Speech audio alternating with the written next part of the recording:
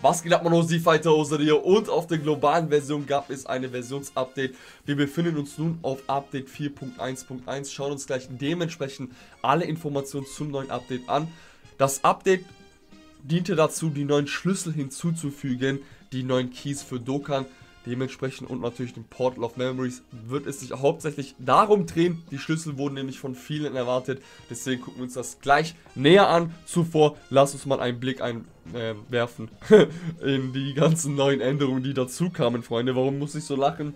Es, es ist zwar cool gewesen. Ja, es gab quasi... Also, das Update ist geil, so ist nicht. Die ganzen Änderungen, die wir uns gleich ansehen. Die User Interface Anpassung, die Benutzeroberfläche finde ich wirklich sehr, sehr gut übersichtlich geworden. Aber außerhalb davon kann man nichts dazu. So, wir wissen halt immer noch nicht, welche Charakter demnächst kommt etc. Nehmen natürlich stark an, dass AGML cooler ist, es sei denn Goku Black wird vorgezogen. Wann werden wir da schlauer? Spätestens nächste Woche, hoffe ich, denke ich, schätze ich, denn nächste Woche, gen Ende nächste Woche sollte die Celebration, die aktuell noch gehen, aber dann rechne ich nächste Woche mit neuen Infos, sage ich mal dazu, Freunde. Spätestens war es, glaube ich, der 21. März geht die aktuelle Celebration, oder? Also ganz kurz einen Blick drauf werfen, bevor ich euch Mist erzähle. Geht nämlich, ja genau, bis zum 21. März. Also spätestens bis da sollten wir wissen, welcher Charakter als nächstes kommt. Aber kommen wir zurück zum App-Update. Nämlich, zum einen wurden die Schlüssel hinzugefügt und äh, Portal of Memories. Das ist quasi das, worum es sich gedreht hat, um bei der Einführung von 4.1.1. Gucken wir uns gleich an. Außerhalb davon wurde das Homescreen optimiert. Das finde ich wirklich sehr, sehr gut. Gucken wir uns auch gleich an. Das wurde bis komplett anders aus für die meisten wahrscheinlich. Was heißt komplett anders? Aber wie man auf die Events gelangt, ist anders geworden. Das gucken wir uns gleich in aller Nähe an. Freunde und in aller Ruhe. Dann wurde hinzugefügt, dass wenn ein Event offline geht, wird angezeigt, drei Tage zuvor, dass es dann quasi offline geht. Also ein Countdown von drei Tagen wurde hinzugefügt bei Events, die dann offline gehen. Die Mission, das Mission-Interface wurde optimiert, zudem wurden jetzt alle Daily Missions in eine Kategorie verpackt. Außerdem gibt es einen Accept All-Button für alle Missionen. Sehr cool auf jeden Fall, gucken wir uns gleich an. Summon History wurde optimiert, jetzt könnt ihr quasi, wenn ihr bei eurer Summon History reinschaut, wurde das Ganze kategorisiert in Dragon Stones, in Friendpoint und in andere Tickets etc. Dann Endlich wurde das hinzugefügt, kann man nun mehr als zwei Kategorien filtern, wenn man quasi nach Kategorien sucht werde ich euch auch gleich zeigen. Dann gab es noch am Display gewisse Anpassungen, gewisse User-Interface-Anpassungen und Bugfixes. Zum einen der Bug mit den Giant Form-Transformationen, Giant Ape, Giant Form oder Rage. Beispielsweise ist das den meisten, beziehungsweise haben das die meisten wahrscheinlich gespürt beim Ise von Gogeta, als sie ihn besiegt haben mit einer, mit einer Transformation von denen, dann ist das Game gecrashed. Das gab es aber auch schon zuvor, lange zuvor in dem Spiel und das wurde erst jetzt gefixt, also Halleluja und ein paar andere Bugfixes gab es ebenso gab für die Wartung drei Stones. Danke annehmen, sage ich dazu. Ne? Was soll ich dazu sagen? Aber das Wichtige mit diesem Versionsupdate ist dann Portal of Memories, Freunde, wurde hinzugefügt. Zum einen, um es ganz kurz zu sagen, wir gucken uns gleich natürlich alles in Detail an. Um es ganz kurz zu sagen, kann man diese Schlüssel nutzen, um inaktive Events zu spielen. Nicht alle, aber die meisten. Und mit der Zeit werden dann alle hinzugefügt. Ich sag mal folgendes, neue Events zum Beispiel, die wird man natürlich nicht direkt dann, nachdem sie offline sind, mit den Schlüsseln spielen können, weil sie erst online waren. Aber nach und nach wird das Ganze hinzugefügt quasi. Wie gesagt, kurz gefasst, die Schlüssel kann man benutzen, um inaktive Events zu spielen. Wo und wie, gucken wir uns gleich an. Wenn ihr euch einmalig einloggt quasi, oder jetzt einloggt, Freunde, im Spiel oder schon eingeloggt habt, dann bekommt ihr zum einen folgende Keys, die hier gelistet sind und die Keys sind unterteilt, die Schlüssel. Ihr seht Historic Keys, Growth Keys, Challenge, Z-Battle Keys und der ein oder andere kann sich schon merken, okay, diese Schlüssel werde ich dann quasi verwenden können, um die Events zu spielen. Und genau. Zukünftige Schlüssel werden wir bekommen, auch durch Login-Boni, durch zukünftige Missionen und so also fort, Freunde. Die, die wird es quasi Free-to-Play geben für uns. Und genau, dann gehen wir mal rüber, bevor wir uns das im Detail ansehen, was hat sich denn jetzt hier quasi geändert. Nun, zum einen wenn jetzt auf die Mission geht, ich versuche mal ganz kurz zu mir vorzustellen, wie ich das am besten mache. Und zwar gucken wir uns zum ersten Mal Login-Boni an. Ich glaube, ja genau, lass uns erstmal das, die ganze Schlüssel abholen. Accept All-Button wurde, glaube ich, rund, unten rechts hinzugefügt. Damals auf JP war das ganz verwirrend. Ich habe immer normalerweise oben rechts drauf geklickt oder drauf getippt. Und jetzt ist unten rechts, wenn mich alles täuscht. So war es zumindest in JP. Ich glaube, auf Global ist auch neu, es sei denn, es war schon lange Zeit zuvor auf Global unten rechts. Ich weiß gerade gar nicht mehr. Ich gehe da intuitiv rein und klickt einfach drauf. Jedenfalls, Accept All ist dann unten rechts. Ihr seht es, die ganze Schlüssel gab es jetzt. Dann bei den Missionen, Freunde, das meinte ich mit, dass die Daily-Missionen kategorisiert wurden. Alle Daily-Missionen, sei es die Standard-Daily-Mission von Dokkan selbst oder aus ähm, Celebrations oder Campaigns, diese sind nun oben, Freunde. Oben, wenn das Ganze mal laden würde, bitte. Danke.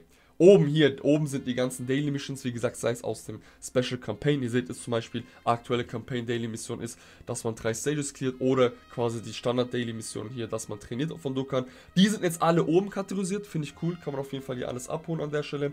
Und Accept All Button für die Mission wurde hinzugefügt. Ich wurde oft gefragt, ey Ursula, wieso nimmst du deine Mission nicht an? Das waren quasi alle Rank-Up-Missionen. Ich habe da einfach darauf gewartet, dass jetzt dieser Accept All Button hinzugefügt wurde oder wird. Und dementsprechend kann ich dann das quasi alles einsammeln. Das war dann quasi diese Rank-Up-Mission, die ich dann noch offen hatte. Zudem, was auch wirklich sehr, sehr gut ist, gucken wir uns gleich an auf der Stage. Habe ich vergessen zu sagen, aber im Endeffekt sehen wir das dann gleich. Ja, ihr seht, ist Accept All Button richtig geil. Auf jeden Fall wurde alles akzeptiert. Zudem wird auch bei den Events an sich nochmal einzeln angezeigt, welche Mission es bei diesem Event gibt. Was meine ich damit? Gehen wir mal gleich rein am besten. Aber, warte mal. Wo ist dieser Switch-Button, wo man zwischen Event und ähm, Quest äh, switcht? Gibt es nicht mehr, Freunde. Alles ist jetzt quasi in diesem einen Start-Button. Wenn ich hier einmal draufklicke, dann seht ihr, wow, okay. Oben links gelangt ihr zu den Quests, oben rechts zu den Events, unten links War Tournament unten in der Mitte zum Battlefield Ultimate Clash und unten rechts zum Portal of Memories, das wurde quasi neu hinzugefügt. Also das ist alles quasi das, das was sich geändert hat. Ich finde es angenehm mit der Zeit, also intuitiv ist es auf jeden Fall. Klickst einmal hier drauf und dann weißt du schon so oder so, man gewöhnt sich an sowas, wo du draufklicken musst. Jetzt, bevor wir zu den Portal of Memories gehen, Freunde, wenn ihr einmal auf Event klickt, dann wird dir quasi zum einen angezeigt, jetzt geht glaube ich kein Event in den nächsten drei Tagen offline, aber dann wird quasi unten rechts angezeigt, ähm, dass es in drei Tagen offline geht kann man, also ist auf jeden Fall nett anzusehen, dann weiß man, okay, das geht offline. Aber was ich viel geiler finde, ist, zum einen wird bei den einzelnen Events, wie gesagt, angezeigt, welche Missionen ihr da noch offen habt. Zum Beispiel hier steht dran 3 von 21. Ich habe hier nur 3 Missionen von 21 geschafft. Wenn ihr hier dann unten rechts auf Mission dran klickt, dann seht ihr genau, was ihr machen müsst für dieses Event. Also das ist, finde ich, wirklich sehr cool. Und dann könnt ihr auch quasi, wenn ihr alles auf einmal habt oder mehrere, hier auf Accept All klicken, dann bekommt ihr das alles. Finde ich wirklich sehr, sehr gut gemacht. Allein so vom Interface her, von der Anpassung, vom Nutzen her, ist wirklich sehr, also ist nutzerfreundlich, sage ich mal. Genau, dann, wie gesagt, das letzte, bevor wir uns zum Schluss das Wichtigste anschauen, die Portal of Memories. Ihr seht es auch schon unten rechts, kann man direkt draufklicken. Wegen den Kategorien, Freunde, ganz kurz, ihr könnt jetzt quasi mehrere wählen, ja, und dann könnt ihr quasi euch, ja, hier gucken, welche Charaktere sind aus dieser Kategorie. Finde ich gut, dass es hinzugefügt wurde, endlich mal.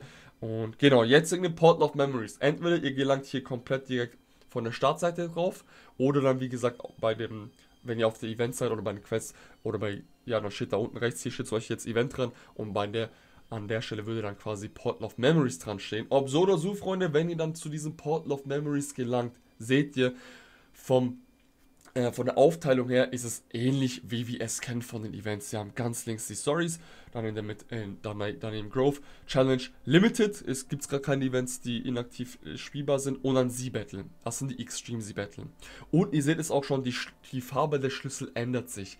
Wenn ihr jetzt eines dieser inaktiven Story Events spielen wollt, dann könnt ihr diese grünen dann verbraucht ihr keine Stamina, sondern ihr verbraucht diese grünen Schlüssel. Beispielsweise, wenn ich jetzt zum Beispiel mal das Story-Event, oder wo sitzt das Ganze hier, gehen wir mal runter, dass irgendein Story-Event hier, wenn das Ganze mal laden würde, weiß gar nicht, was da los ist in letzter Zeit, hier zum Beispiel dieses Story-Event spielen wollt, Informationen bekommt ihr alle Freunde, müsst ihr einfach nur draufklicken, dann ist da wie immer gelistet, was und was ihr oder wo ihr was bekommt, was wo droppt, aus welcher Stage. Jedenfalls könnt ihr dann quasi hingehen. Statt Stamina, wie gesagt, würdet ihr quasi Zeitschlüssel verbrauchen, wie es da dran steht. Genau.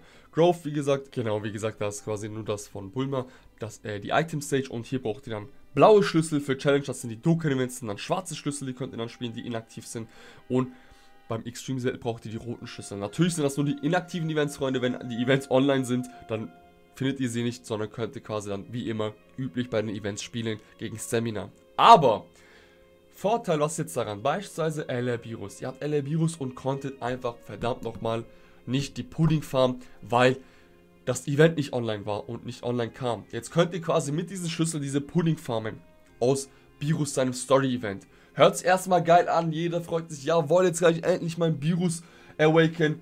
Aber nein. Warum nein? Also ja, zum einen könnt ihr die Pudding farmen durch die Schlüssel hier. Auf welcher Stage ist das? Stage 2 glaube ich. Zum anderen jedoch, ja genau, könnt ihr sie nicht verwerten bis jetzt. Warum? Denn diese Pudding wurden nicht in den Barbershop hinzugefügt. Also müsst ihr könnt zwar die Pudding farmen, ihr müsst aber warten, bis das Event trotzdem offiziell zurückkommt, damit quasi hier die Pudding Section hinzugefügt wird. Was für ein Rotz ist das? Das ist Wer hat das gemacht? Das ist übertrieben dumm gemacht. Zum einen war es auf JP auch so mit der Einführung der Schlüssel. Aber seit ein, zwei Wochen wurde das eben auf JP dann permanent hinzugefügt. Also diese Puddings sind jetzt permanent im Barbershop, weil ihr logischerweise mit den Schlüsseln ähm, das Event oder die Pudding aus dem Event farmen könnt, auch wenn sie inaktiv sind. Und dann könnt ihr es direkt eintauschen. Also das ist gut.